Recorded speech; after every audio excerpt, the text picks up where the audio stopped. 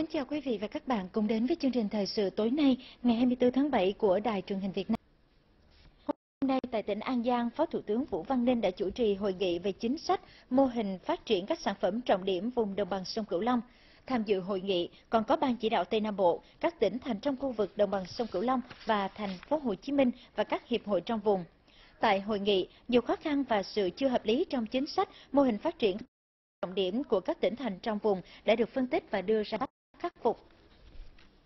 Tại hội nghị, lãnh đạo của các địa phương và hiệp hội doanh nghiệp trong khu vực đồng bằng sông Cửu Long đã cho rằng nhiều sản phẩm nông thủy sản trọng điểm trong vùng đang gặp nhiều khó khăn, chủ yếu là do phải phụ thuộc vào thị trường, sự cạnh tranh và rào cản kỹ thuật từ các nước. Điển hình là hơn 10 năm qua, sản lượng cá đồng bằng sông Cửu Long đã tăng hơn 50 lần, kim ngạch xuất khẩu tăng hơn 65 lần. Thế nhưng thời gian gần đây, người nuôi cá tra lâm vào cảnh lao đao buộc phải treo ao, còn nhà máy thì sản xuất cầm chừng. Bên cạnh đó, nhiều sản phẩm đặc trưng của vùng đồng bằng sông Cửu Long như lúa, gạo, tôm, nước mặn, nước lợ và một số loại trái cây khác cũng đều gặp không ít khó khăn, nhất là ở khâu đầu ra.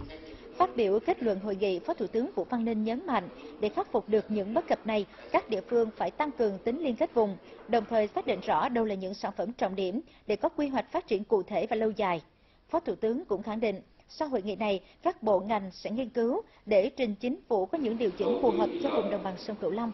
Nhưng trước hết, các bộ ngành liên quan và địa phương trong vùng phải phát huy tính chủ động trong việc lập đề án để triển khai những mô hình thí điểm trước khi triển khai trên diện rộng.